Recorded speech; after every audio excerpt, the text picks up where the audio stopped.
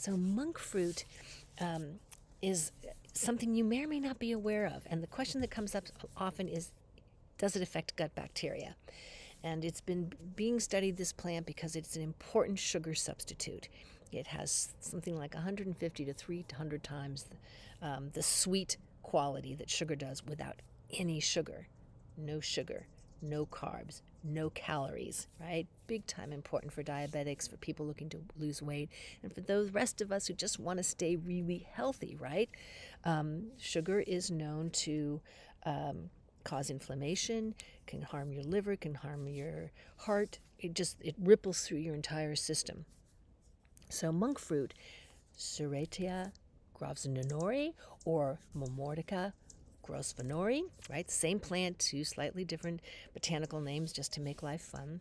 Native to northern Thailand and southern China, is a beautiful, beautiful plant that not only has this non sugar capability, but it's also loaded with antioxidants um, and important cancer preventing uh, mechanisms. And we go into all of that in the Healing Health session. Um, but in case you're not familiar with it, it really isn't not so that it's just not sugar.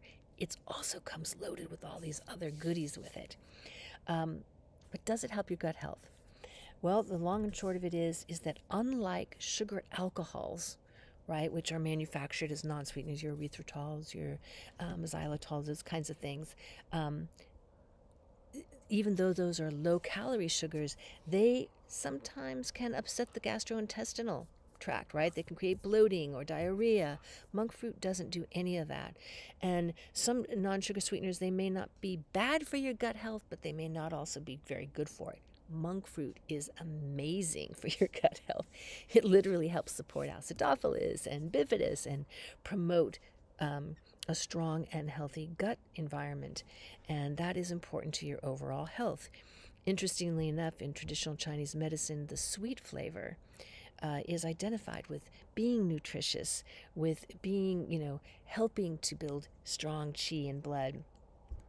Um, it's this is an herb that is known for also clearing heat, for moistening the lungs and intestines. It's really very importantly used to help with coughs and uh, dry throats. So it has a lot of application way beyond just being a sweetener, and it may be something you want to be getting more into your diet check out our Healing Herb Health session.